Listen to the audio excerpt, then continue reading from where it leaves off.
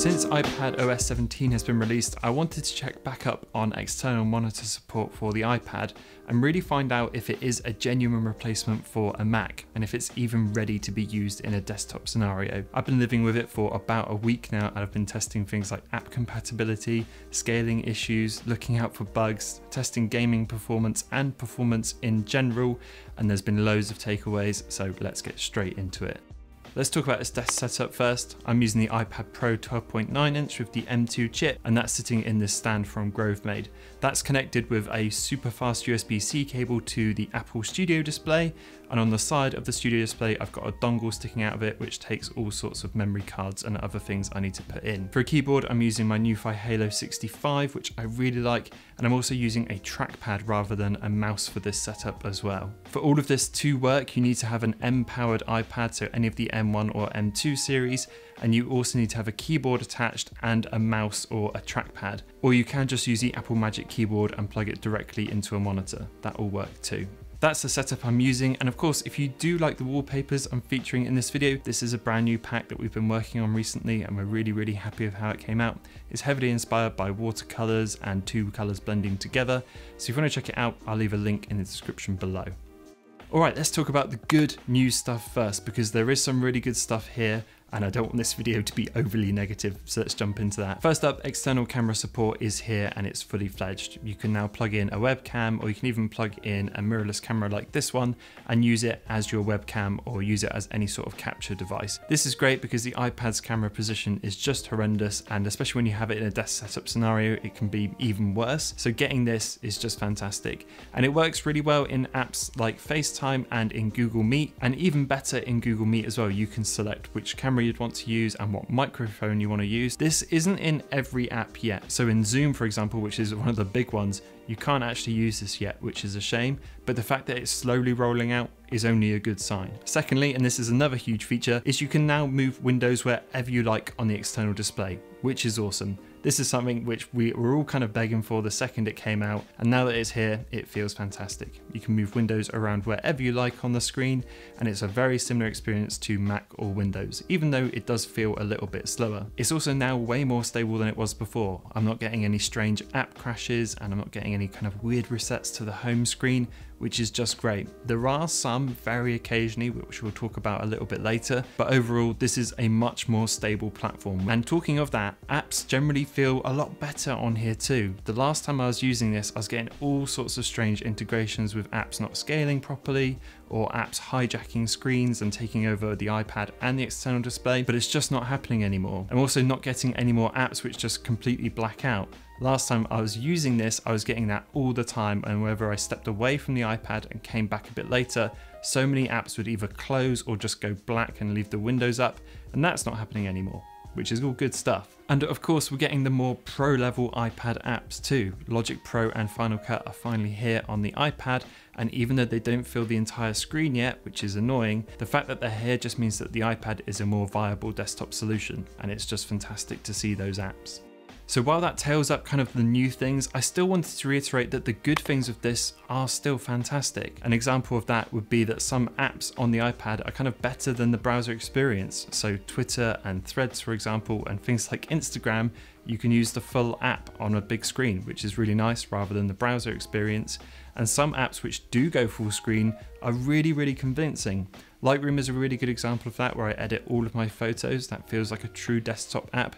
And LumaFusion, which is a really decent video editor, feels completely convincing as an app and you can let the hours drift by while you're using it and you completely forget you're using an iPad, which is absolutely the experience it should be delivering, and it does. Oh, and some games are now even fully supporting a keyboard and mouse input. I played a little bit of Minecraft on here and using the keyboard and mouse or trackpad input was really, really good. It felt like I was just playing it on a normal PC, despite not being full screen. And not to mention, having a second screen as an iPad is a legitimately cool experience. You still get access to all of your iPad apps on that screen because it remains active, and then you get to interact with it in exactly the same way as you would as if you were just using an iPad, which is just great. So if you need to take notes, or if you need to do anything on a touch basis, you can just glance down and do that like normal, which is so, so cool. And not to mention, I really like the instant experience of the entire thing. This is a one cable solution. So you plug in the iPad and you immediately have this desktop scenario. And then when you plug it out, you have a normal iPad again. And finally, on the good things is performance is still fantastic. I'm obviously using the M2 version here, which is like beefed up with RAM and has the best processor, but even on the M1 version I've tried of this, the performance and experience holds up. I never feel like I'm waiting for anything and everything is nice and snappy all at once. That translates to gaming too. I tried out a huge amount of Honkai Star Rail and even on the higher graphic settings, it ran really well. It was the same for Minecraft and a bunch of Genshin Impact as well. So the iPad really does handle this well even when it's powering its own screen at the same time. While I've been using this, I kept note of a bunch of small tips which have sped up my use. The first of those, if you hold down shift while you click an app, it will open up in your current space and not jump you to a new one. Also, rather than going to the dock to find apps or going to different spaces to find all your apps, if you press command and spacebar and open up Spotlight and type it in, that's a much quicker way of getting to your apps and it saves you hunting around to find them, which has been really useful. Also, if you jump to settings and head over to Stage Manager, I always turn off the sidebar because it uses up such a huge amount of screen and getting to your separate spaces, especially with a trackpad, is really easy with a gesture, so I always do that. Also, while you're in settings, it's worth jumping to the display setting and making sure you click show more. This will just give you more room to breathe on the big screen and the standard scaling kind of looks really big so it kind of looks like a child's toy and also probably my biggest recommendation for this whole setup is to use a trackpad rather than a mouse Honestly, the mouse on iPadOS just feels so strange and sticky how it moves around the OS, but if you use a trackpad, it's crazy similar to using the iPad anyway, and everything from gestures to how it interacts with the OS just feels right. And finally, the best placement for the iPad is absolutely under the display. I've tried having this on the left or on the right and it just doesn't feel right. And there's even an option to have it on top of your external display and I really don't know who that's for. But Apple clearly intended this to be under the display and that is absolutely where it works best. Okay, with all the good stuff done, let's talk about the bigger issues here because there's still plenty to tackle. And the first up, it still does have bugs, and the biggest one that I came across was outright not being able to open apps from the dock. This was really strange, it didn't happen too often, but usually I just drag an app up from the dock to open it and it outright doesn't work. And when I click the app, doesn't matter what I do, it just won't load up, which is really strange. There are still scaling issues as well with some apps, and I think this could be on developers over Apple, but I'm not overly sure but some apps outright don't scale well and when you try and move them around it's just a complete mess. And that brings me to kind of like the UI and interactions across the system as well it's still just not quite there. Some menu items need to be touched with a finger, which can't be done with a trackpad or a mouse, which is just so strange. Google Docs is really bad for that. Another weird example is when I was trying to open DaVinci Resolve, it just wouldn't load on the external display at all. Every time I clicked it to open it, it just outright wouldn't. But then if I opened it on the iPad itself, it would open and then I would have to physically move it from the iPad to the external display and then it would work, which was just really strange. And the top right menu bar just on the normal OS, if you click that on the external display, it opens up on the iPad, uh, which is just weird. You'd expect it to open on the external display and it doesn't. Another downside as well with this is that full screen apps are just few and far between.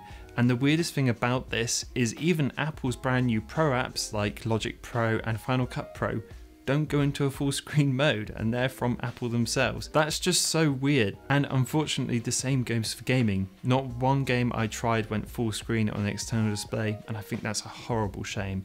If anything should go full screen at this point, it should be gaming to take advantage of that full 16 by 9 aspect ratio which we're all used to. And one of the final things which always really annoyed me was the fact there's no direct sound control at all. So you can't pick where the sound's going to come out of, whether it's going to come out the iPad speakers or your external monitors speakers or your AirPod speakers or anything else like that.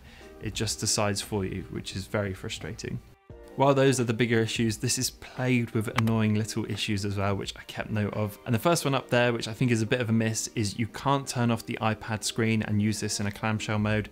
If you turn off the iPad, you turn off the external display, and that's kind of annoying. If you're working in the browser and open up an app like Twitter or Instagram or anything like that, it will constantly try and push you back to the actual app, even if you don't want it and you can't dismiss the notification, which is really frustrating. The actual dock on the iPad disappears if you drag an app just below it, which is just so frustrating. I do that all the time and have to reload the apps into the right place for the dock to reappear. That's annoying. App volumes don't work unless you're muting it. So if you're in YouTube and you want to use the volume on a YouTube video, you can't, it just doesn't work unless you absolutely mute it. If you're on a video call and you want to share your screen, you can only share your iPad screen and not the external monitor screen. So if you've got loads of stuff open up, you're going to have to move that to the iPad screen and share it that way. If you're using a Bluetooth keyboard with it, like I am, you'll get loads of misstrokes here. And I don't know if that's something to do with my keyboard or my iPad specifically, but I seem to be going back and correcting myself all the time. The iPad seems to get a lot warmer now than it ever did before as well. And that could be an M2 thing, I'm not overly sure, but that hasn't hit performance. It's just something I notice when I check the temperature of the iPad. And even though I'm using the studio display, which is a fantastic way to use this setup, you can't actually change the brightness of the studio display with any keyboard shortcuts, at least not on my keyboard. You have to go to settings and then have to change it that way, which just feels really, really weird. And because the studio display doesn't take an HDMI, I can't use my fancy dock for the iPad to connect everything up. And that dock is really useful because it's got SD card slots, USB-C inputs, USB-A inputs, and headphone jacks and a bunch of other stuff which is really useful. So yeah, those are a bunch of annoying little things which popped up while I was using this.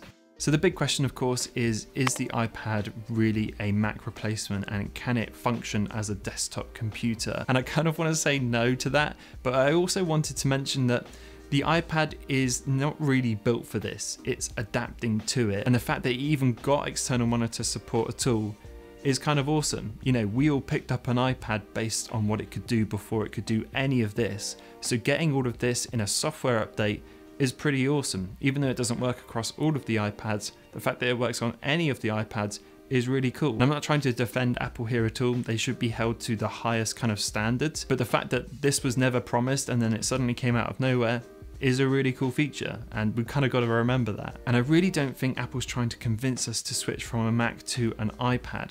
The iPad is basically an adaptive computer that can do a bunch of stuff and works really well for some people.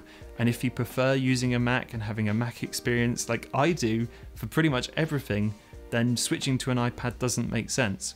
For me, the iPad is still this wonderful companion to a Mac and it does some things incredibly well, it does other things not so well. But if you are an iPad sole user and now suddenly you have this experience and you might want to get an external monitor, then this is great. It's all additional, so why not enjoy it for what it is? Like I said, there are some times when you can completely forget that you're using an iPad and it just feels like a standard desktop experience. When you've got those full screen apps or when you're using the browser to do work, everything feels great and the experience is really fantastic. So that just about rounds up this video. I hope you enjoyed it. If you're using your iPad with an external display, I'd love to know what you're using it for and why. So let me know in the comments below. I always love to hear what you have to say. And as ever, I will see you all in the next one.